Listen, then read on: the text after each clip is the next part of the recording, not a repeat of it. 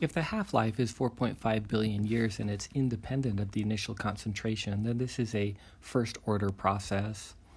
So